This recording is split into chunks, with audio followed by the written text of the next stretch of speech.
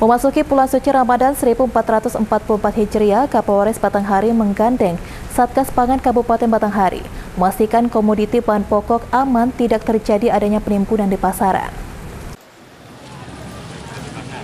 Satgas Gabungan Pangan yang terdiri dari kepolisian dan tim pengendalian inflasi daerah atau TPID Kabupaten Batanghari menggelar inspeksi mendadak di pasar tradisional Keramat Tinggi Muara Bulian.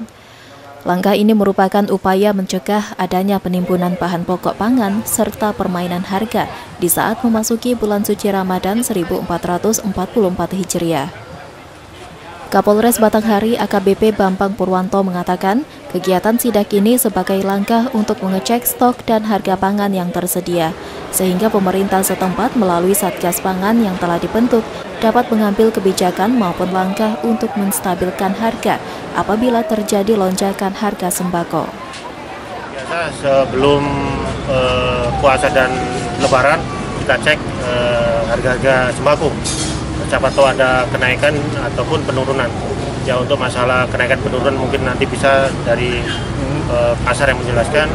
Kami uh, intinya ke sini untuk pengecekan harga sembako Eh, supaya supaya tidak ada efeknya nanti untuk di kaptif pasar kalau harga naik atau turun kan pasti kan ada efeknya kan dari hasil di lapangan sejauh ini memasuki bulan suci Ramadan harga kebutuhan bahan pokok masih stabil sedangkan masalah penimbunan belum mendapatkan adanya bahan pokok yang langka Kapolres berharap bila diketahui adanya penimbunan, diharapkan warga dapat segera melaporkannya pada kepolisian sehingga bisa langsung ditindaklanjuti.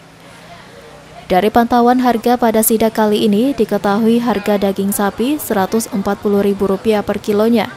Sedangkan harga beras premium mengalami kenaikan Rp500 hingga Rp1.000 per kilonya. Dan untuk harga ayam broiler di harga Rp30.000 per kilonya. Selamat Riyadi, Jack TV, melaporkan.